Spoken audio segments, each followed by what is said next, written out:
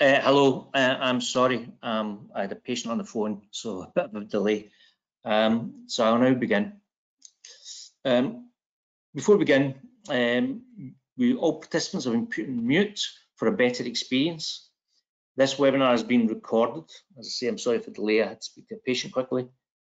Please use the question panel on the right to ask any questions as we go along. Handouts are available um, on the panel on the right. A webinar feedback survey will be supplied at the end of the webinar and follow up. Can you please complete this, especially should you need a certificate for any local continued professional development requirements? Please register for future webinars. I'll try not to answer the phone right before it to patients. And these can be found at blatchford.co.uk backslash webinars. And any questions, please feel free to contact me on john.ross at blatchford.co.uk. Today I'll be talking about the Silcare Breathe range products in this webinar. Uh, my name is John Ross. I am a prosthetist of over 27 years. Uh, I'm still a practicing clinician uh, and I work for Blatchford um, around the world. I have a keen interest in sockets and what happens inside the socket. So actually this is of interest to me as well, this seminar. So the agenda list for today, um, we'll begin with the introduction.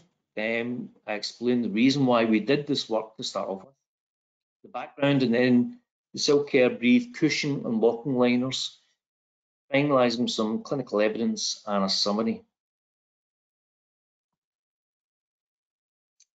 First of all, in many countries over the years, we have run multiple questionnaires asking what outcome the amputees want from their prosthesis, be it their needs, um, the activities of daily living that they're going to get into, do they live in a monsoon area, do they live in the middle of a desert, the components available, um, both those that um, are reimbursed in their countries or those that are available around the world, the alignment is possible taking into account any flexion, extension, abduction, and the biomechanical effect that these will have on that outcome. And it doesn't matter where we do this, we always get the same three answers. Comfort is always top. All amputees want comfort. Stability, and no one wants to fall over. And then efficiency. It's got to be said that the most expensive advanced componentry is of very limited use without a comfortable socket.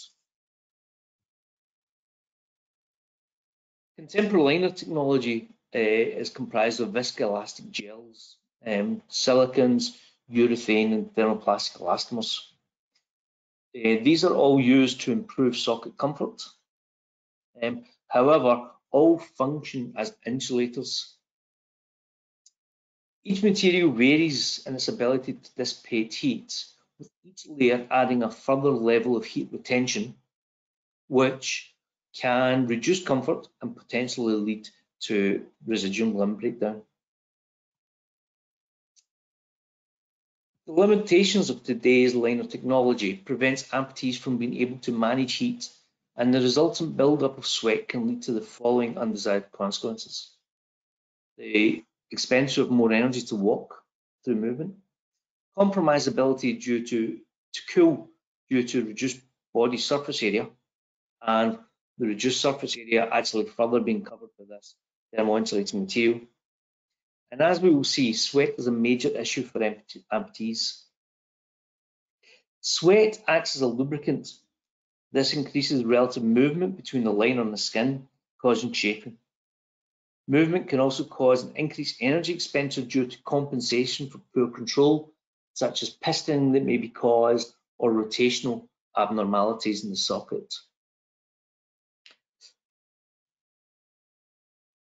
Because of the amputation, it should also be noted there's less surface area, available to cool.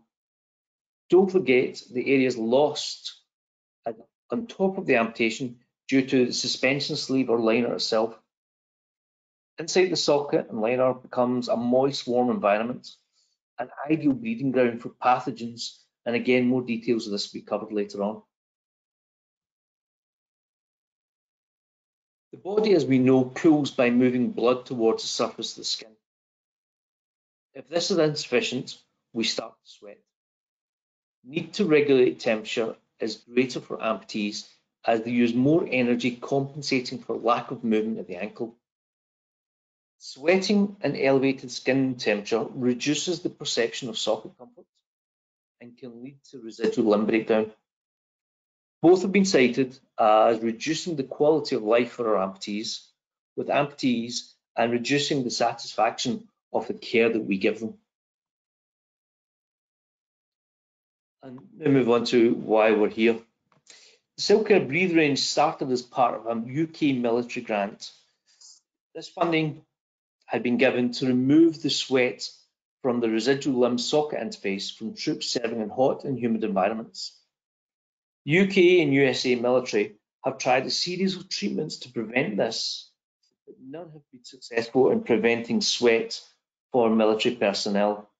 So therefore it was deemed time to try removing the sweat from against the residual limb and keeping it away from the amputee because um, we could not prevent sweating. This resultant program allowed us to develop a perforated silicone liner that tra transmits moisture and air for cooler, drier skin and a more secure socket fit, while maintaining the positive comfort and suspension benefits of a prosthetic liner. From this, we developed a system of shaped laser drilled perforations along the length and at the distal end of the liner to effectively draw moisture away from the residuum and keep the limb dry. this was driven by the aim to improve skin health, reduce the relative movement between the limb and the liner, enhance the proprioception and control by improving the coupling between the prosthetic limb and the patient's own limb, enhancing the comfort and maintaining a drier, cooler skin for the amputee.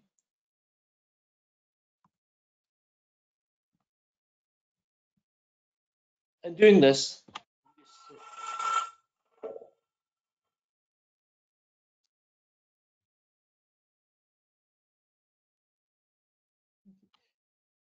In doing this, we researched the optimal size and shape of these perforations. We used a pico laser to laser drill these and maintain accurate control of their size and shape. These perforations distributed along the length and distal end of the liner allowed us to remove any moisture or air trapped against the skin and move it away from the skin. We also found that these perforations allowed us to generate a vacuum between the residuum and the liner um, while transmitting the sweat away from the skin and this gave us a better coupling between the prosthesis and the patient's limb themselves. This vacuum that was generated via the holes distorted. This vacuum is generated via the holes. These holes distort during loading and the resilience of the silicon makes them return to their normal shape when weight is relieved. And you should remember that during stance phase, the liners will be loaded to about one and a quarter times body weight. So while loading, the holes distort and allow sweat and air to move away from the skin to the outside of the liner. And then when offloading, the resilience of the silicon close these holes, these perforations again, sealing the system. Additionally, our liners are coated by tenderness. Tenderness coating uh, on the inner silicon surface reduces shear stresses in the skin, allowing easier don and doffing and improving comfort. The Silcare Breathe range of cushion liners is available as both a cushion and a locking liner option and is designed to keep the skin cool and comfortable all day long.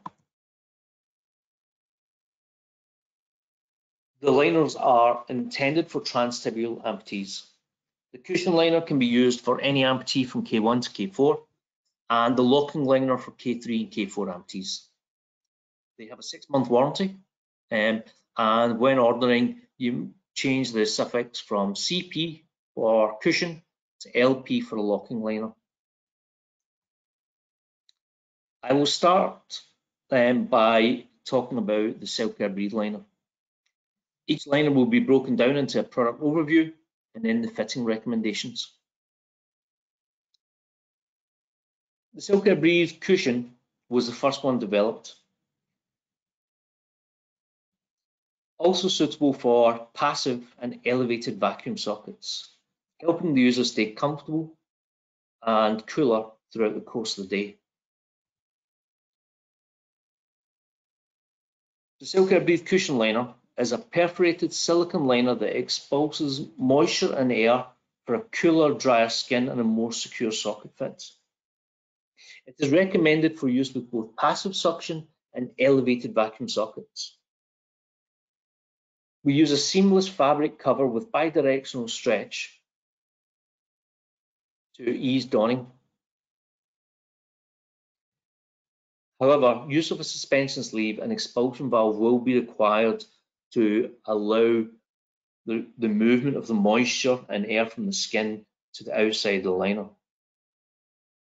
This technique and the findings of our research was first presented at the outcome, um, first presented at the ISPO World Conference in India. This illustration details how the outer suspension sleeve seals onto the thigh proximally and onto the outer socket distally. The liner is perforated to allow sweat and air to move away from the skin through the perforations and then along the fabric outer surface and ultimately through the one-way valve. It should be noted this can be used as well with elevated vacuum. From my experience, it is usually alarming at first to see the outside of the liner become damp for many amputees but daily cleaning and the improvement in the residual limb health usually quickly outweighs this. On this slide, the video on the right shows how the perforations are applied to the outside of the, the liner via laser drilling. These perforations in the cushion liner are distributed along the length and distal end of the liner. As mentioned before, we use a pico laser which creates small holes where we can accurately control the size and shape and design. These perforations generate a vacuum, plus allow us to transmit sweat and vacuum.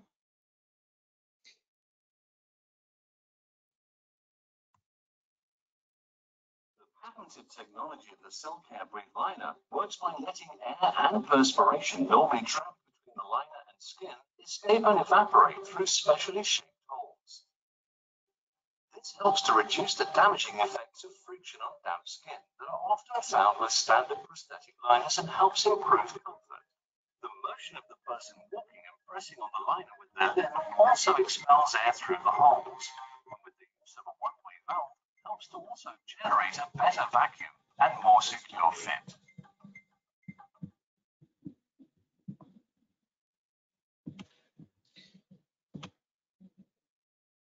Okay, so as we can see in this video, as a pool, uh, sweat, etc., or air is trapped at the end of the socket, as weight is applied, this is forced out away from the skin through the liner into the space between the liner and socket, and then eventually out through the one-way valve.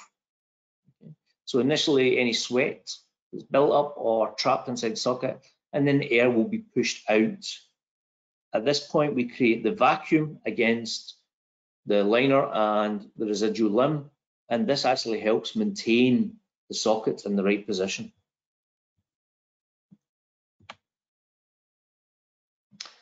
Moving on to the fitting recommendations. For the Silcare Breathe range of liners, you need to measure the circumference 4 centimetres up from the distal end. Then you select the liner that corresponds to this. If a patient is between two liner sizes, I would always recommend going to the next size down. For casting, I use a total surface bearing casting technique to capture the residual limb volume and shape, and I will show you some photographs of this later on. Then we, in rectification, we use a volume reduction. Typically, I look for 3 to 5% proximal reduction, depending on the soft tissue coverage and a bone anatomy. And then this reduction reduces to 0 to 1% distally. So in casting, don the liner, cover the liner with cling film and apply a damp sock. Markup is appropriate. Um, landmarks, so typically bony landmarks, cut end of tibia, the fibula head, uh, and patella, so that we know the trim lines. And then any other sensitive areas. I then take circumferential measurements using the mid-patellar tendon bar or a bony surface as a landmark initially. I routinely take the measurements every two centimeters from this. Uh, and it's to these measurements that I will apply my reductions during rectification. In doing the cast, I apply an anterior plaster slab to capture the bony anatomy. This is smoothed in to capture the anterior definition and you need to keep working this into the anterior shape until dry.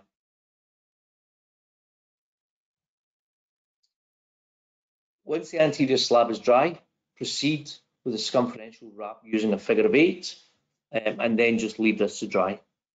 I know that some clinicians at this point like to pinch along the posterior of the cast. However, I find this is unnecessary, and all it does is save you from having to reduce somewhere between three and four millimeters when you do your reduction. Mark your alignment lines, flexion, extension, ab or adduction, or rotation of the knee is required before removing the cast.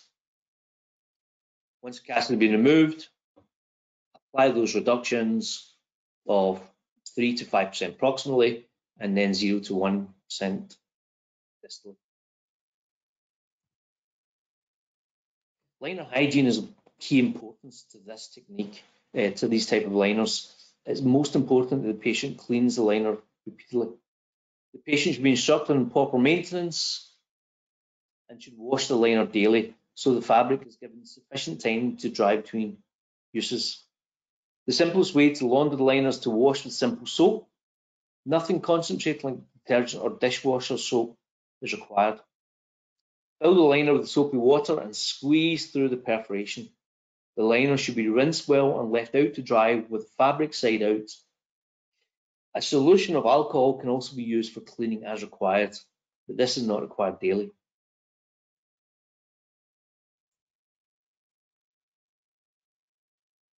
Moving on to the Silcare Breathe locking liner. I will cover this in slightly more detail because I know that I've already covered the Silcare Breathe cushion liner in an earlier session on elevated vacuum. So we'll give slightly more detail on this one. The Silcare Breathe locking liner incorporates a locking system with a unique one-way valve. It still allows the moisture management and air management through this. We use an integral matrix with unidirectional and bidirectional control, which I will also come back to later. And we still keep the tenderest coating to ease don and doffing for the patient. Why use the locking liner? Um, there are still some patients out there who do not like um, suction sockets, whether it be passive or elevated vacuum. Um, and many parts of the world, many patients still believe that the pin lock system is the most advanced system. The other advantage of the locking system is that you, you get the suspension without the bulk and restriction around the knee. You don't have the fragility of a suspension sleeve, and many amputees, as I say, find this easier. The advantage of our Silcare Breathe locking liner, it still eliminates moisture and trapped air via the one-way valve we have distally, which maintains suspension, dry skin, and enhanced proprioception. The integrated matrix has no longitudinal stretch at the end, okay, and this area has no perforations drilled into it, okay. This resists pistoning of the prosthesis. Proximally, the bidirectional stretch allows comfortable knee flexion so the patient can sit down. Um, while the continuing knitting technology of the fabric outer allows easier donning due to the smooth transition.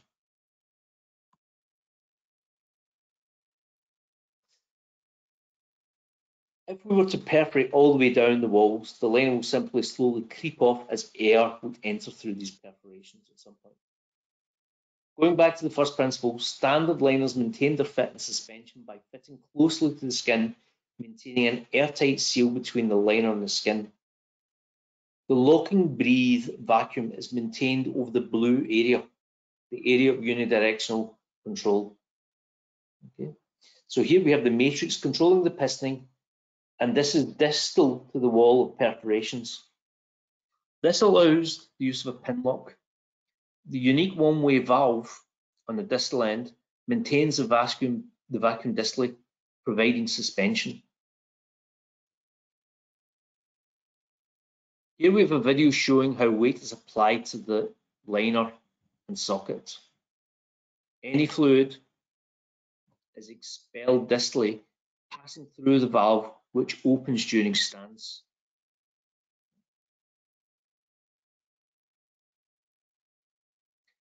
Approximately, the wall perforations allow air and moisture to escape, and the fabric typically gets damp as a result of this.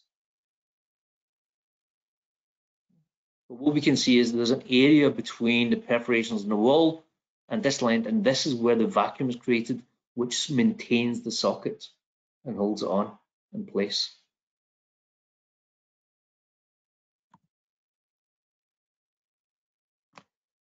Patient selection criteria for this liner is for transtibial.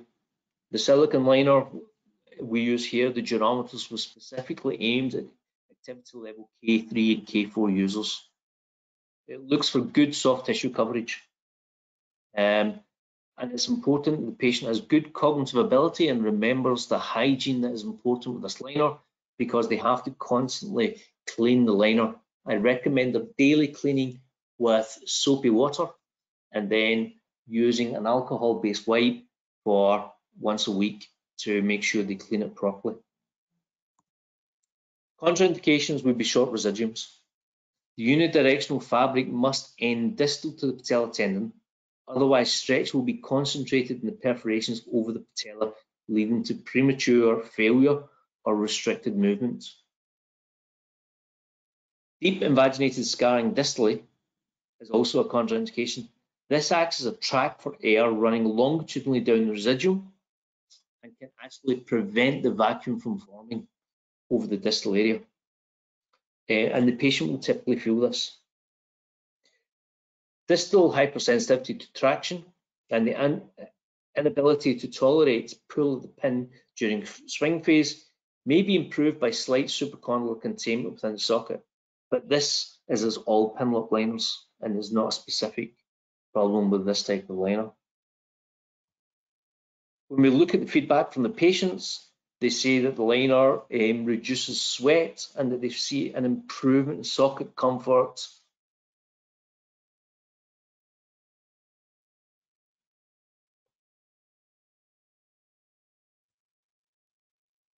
Moving on to the fitting recommendations.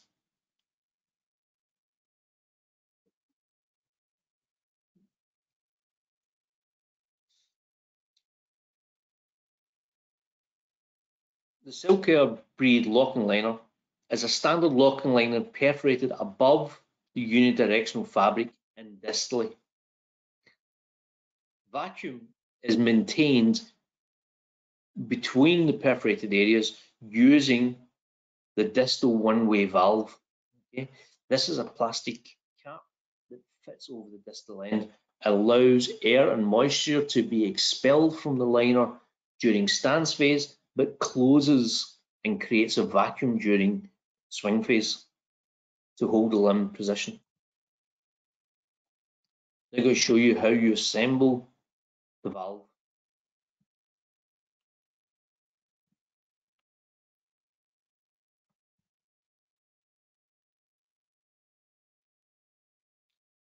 Put the valve on distally. You'll find a small washer in the pack place that over it.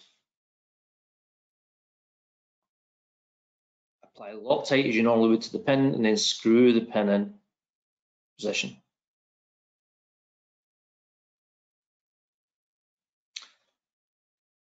Torque or tighten the pin as normal.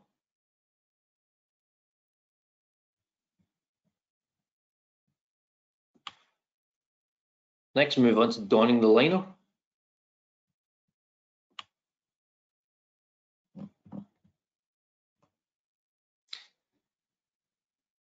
Similar as any pin lock liner, turn the liner inside out.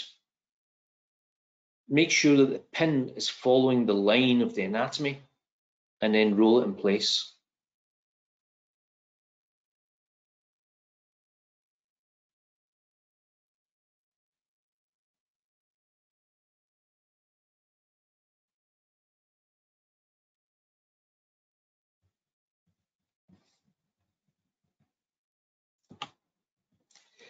Casting. Inside the, the pack, you will find a casting dummy. Fit the casting dummy um, to your liner. Trim the dummy to the size at the end of your cap. The dummy that is supplied is a uniform dummy that does all liners. However, you will have to trim it depending on the size of the liner you're using. Refit the dummy, okay, using the example we showed before of fitting the distal cap with a pin or use a lanyard, depending on what you prefer to use for casting.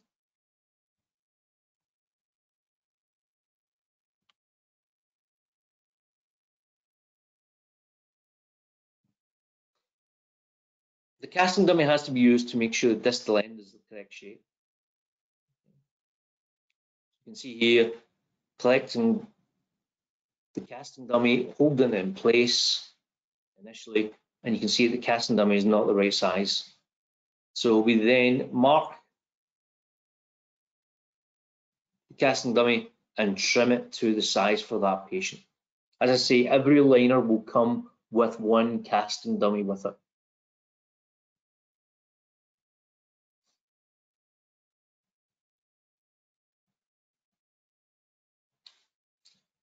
casting dummy back in position exactly as you did before when you were checking with a pin. At this point, either use a lanyard or a pin, depending on which system you prefer to use for casting.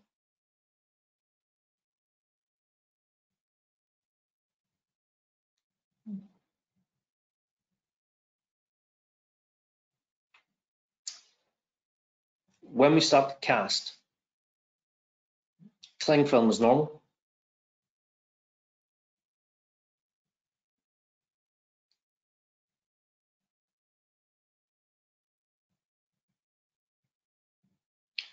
Mark your landmarks as before, so such as the patella, any bony problems, end of tibia, fibula head, any sensitive areas that the patient has. Take your circumferential measurements.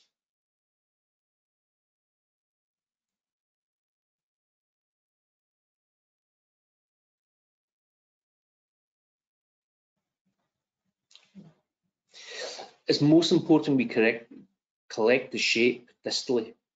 So what we normally do is add a slab on the end, shape it to the distal end as closely as possible, and then leave it to dry before we do anything else. Okay, so shape that end in so that you have the shape of the valve and the casting dummy included inside your cast and then just continue to cast as before.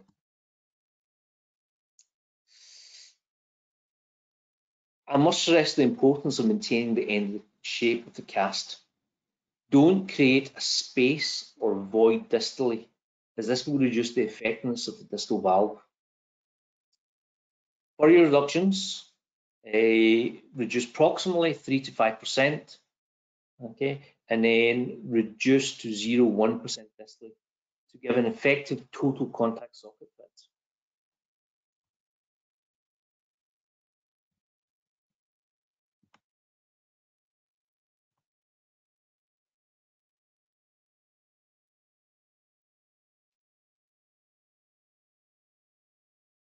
take off your cast. Make sure you can see it. Make sure you've maintained that shape distally, which is most important from the casting dummy. Draw on your landmarks again.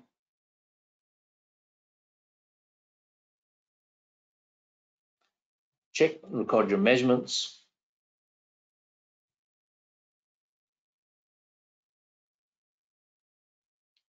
Apply your reductions, say 3 to 5% approximately.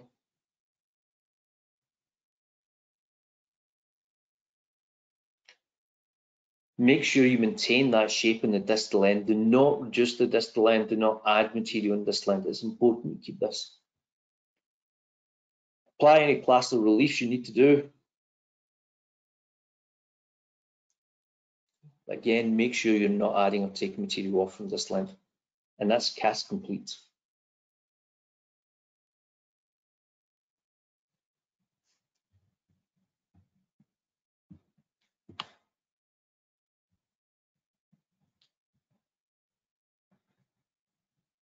Next stage is actually checking the so,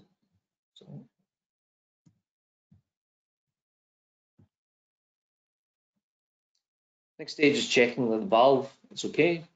So at this point, we remove the casting dummy and then apply the definitive valve. We want to make sure that there's small space there and you will see that the correct valve is a slightly different profile from the real socket. Okay, ensure that there's some space for this valve to open and close during stance phase.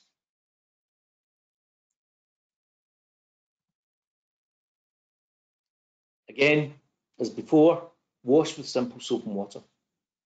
Fill and squeeze the water through the perforations, and this includes the valve. When squeezing the water through the distal end, I normally recommend that the patient pull the valve away from the liner and then apply a pressure downwards so the water comes down out the, the perforations along the length and out through the distal end. Rinse well, pad dry with paper towel, etc. You can clean with alcohol spray or something similar, but this is not required every day.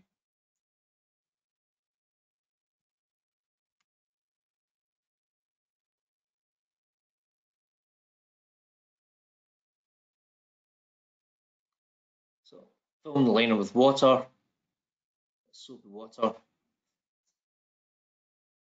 and then just squeeze down. So you can see here the patient's pulling the valve down away from distal end and then pushing down so that water also is flushed down through the perforations in distal end.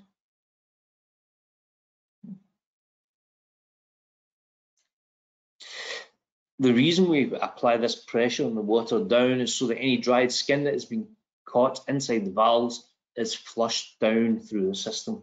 Uh, this has probably one of the most common um, issues that I've ever had with the liner is if someone doesn't clean it properly, then these small perforations can become blocked. Clean the liner and then leave it to dry.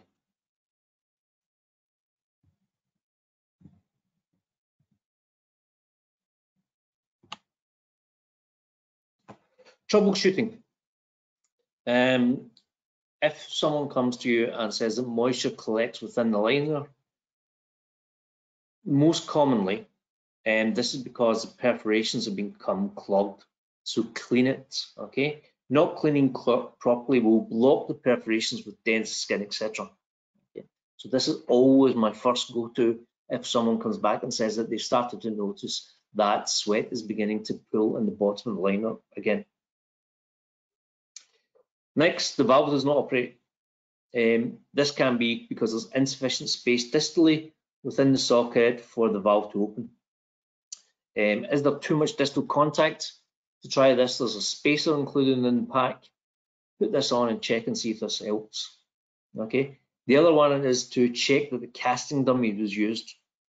I've had one instance recently where they'd even sent this out at delivery. So they'd sent it out with the casting dummy and then were worried why they were not getting the full effect. So make sure you're using the correct valve, which is the shape distal cap at delivery The casting dummy is only used for casting and make sure you cast with this.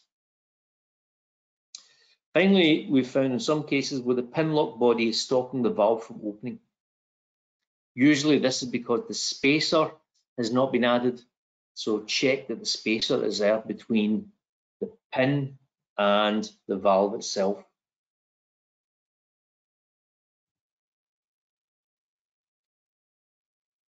So in summary, we have a perforated silicone liner that transmits air and moisture for cooler, drier skin and a more secure fit. It has been shown to maintain vacuum distally, increasing the stability between the liner and the residuum and providing a method of suspension.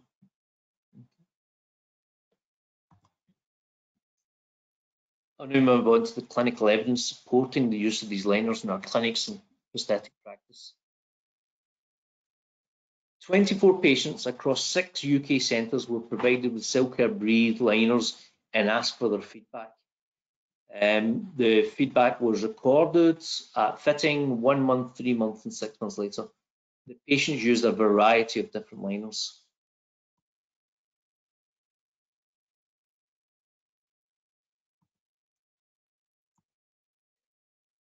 All patients had issues with sweat at fitting. 33% um, still had some issue after three months. Okay. However, after six months, uh, only two still had um, experience of problems, um, and these were during exercise. When asked how effective the liner was in maintaining dry skin, we saw that we got an above average over the group of responses.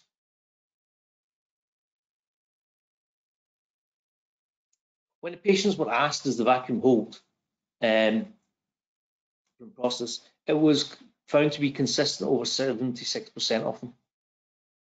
Many prostheticists did not realize that there was a vacuum element to the suspension and that this was created between the perforated area and walls and the distal vacuum. But routinely, most of the patients were happy.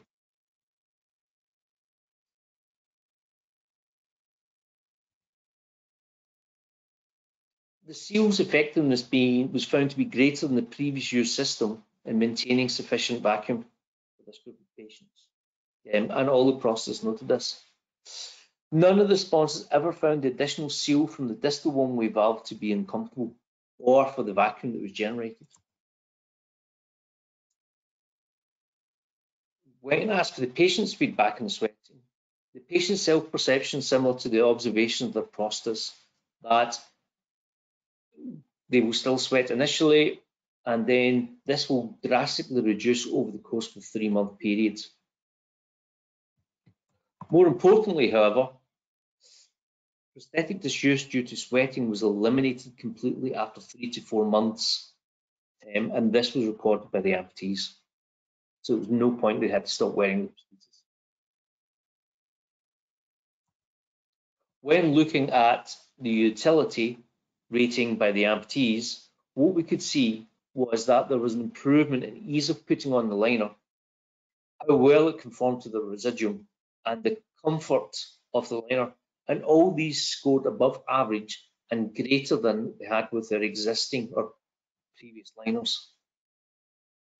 When rating the walking and the comfort of the liner,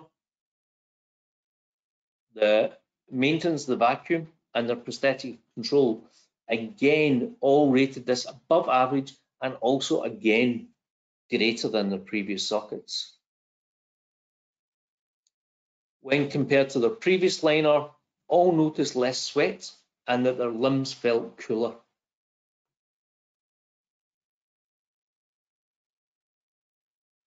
Summary of the trials, both the prosthetists and the patients noticed reduction in sweat problems. The vacuum design worked well without affecting comfort, and many people didn't understand how the vacuum was there or realised the benefits it gave them initially. Most importantly, prosthetic abandonment due to sweat was eliminated after three months. Looking at a couple of case studies, the first one is an active K3 male, aged 41 years, 90 kilograms. This patient enjoyed rectal exercise, eh, but this could lead to blistering over the scarring. The patient had booked surgery to revise the scarring, hoping that this would reduce the blistering formation. In June 2017, the patient was fitted with perforated liner. After a month, there was considerably less sweat, um, even after jogging. After four months, the blistering had healed. The patient had actually felt confident enough to cancel the surgery and now is regularly involved in five mile jogs. Case two is an active K3 to K4 male, 45 years of age of 100 kilograms. This patient uh, actively competes in motocross events, um, however, has experienced residual limb skin issues since 2014. In August of 2017, and also developed in the posterior aspect of the residuum, uh, this persisted for over a year and dermatological clinic advised prosthetic use for three to five months to allow healing. One year later, the patient was fitted with a perforated Pinlock liner. After a month, there was a visible reduction in size and it was no longer suppurating. And by two months, there was a further reduction in size, tissue granulation, and the patient was then fitted with a perforated liner with suction suspension. After two months, patient was fitted with a cushioned perforated liner with suction suspension. As expected with passive vacuum and the perforated liner, we saw wound healing. And by six weeks, this was considered almost completely healed.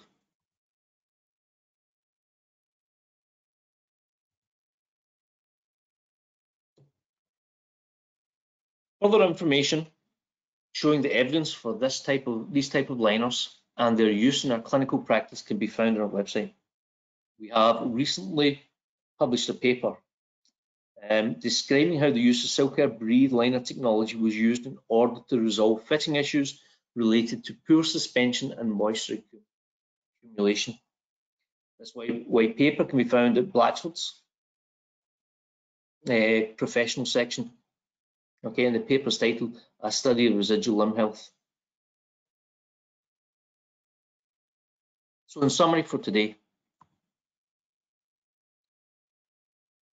Silcare Breathe leads to a cooler, drier skin.